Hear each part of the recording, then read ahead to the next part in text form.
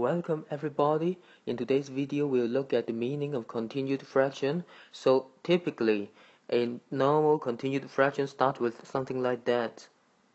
So please don't be confused too much about the complicated appearance of such a fraction. You should be able to solve it um, if you focus on the bottom right hand corner first of all. So for example, please look at this one. You can try to simplify it a little bit. I believe you know how to do it yourself. It's pretty simple um, fraction addition here. And the red box now becomes 7 over 2. And then, again, the trick is that you need to focus on whatever happens in the bottom right hand corner.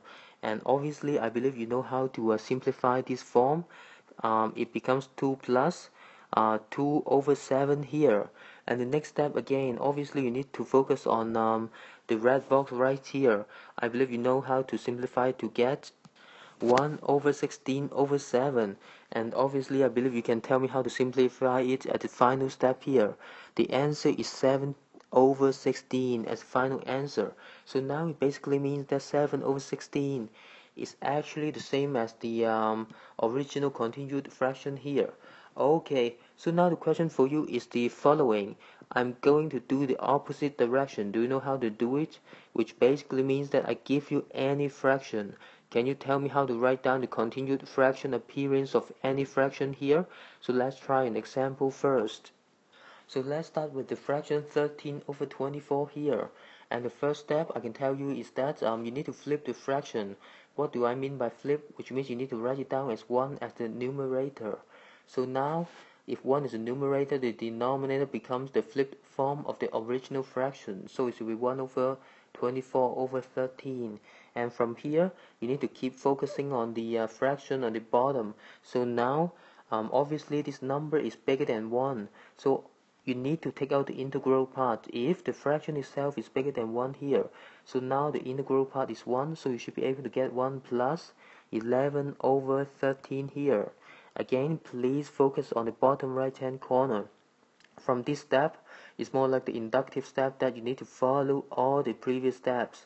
So now, when you get a fraction like that, again, you need to flip it um, again. For this part, it becomes 1 plus 1 over 13 over 11.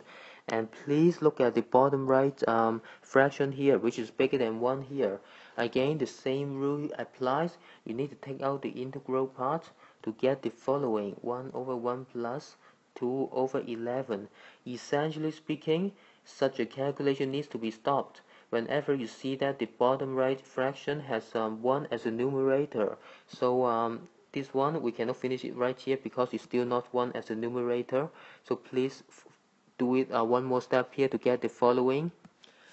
Again, um, I do, did a flip of this fraction because this fraction is smaller than 1 so you need to flip it anyway so now please try to decompose the last fraction here you should be able to get the following so it should be your final answer because now you look at the bottom right fraction the numerator has 1 and now we finish the calculation here.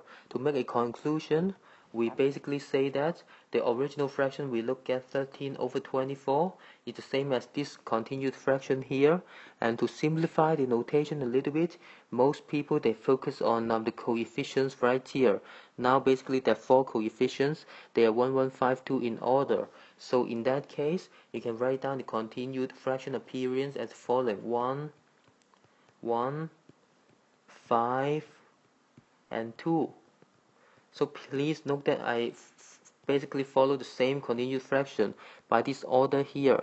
And um, let's try one more example to familiarize yourself with uh, such a calculation. So next example, please look at the following here. We look at the fraction 67 over 24. And I believe you can tell me the first step but please note that um, this fraction is somewhere between 2 and 3. Again, whenever it happens that the fraction is bigger than 1, you need to take out the integral part to get 2 plus 19 over 24 here.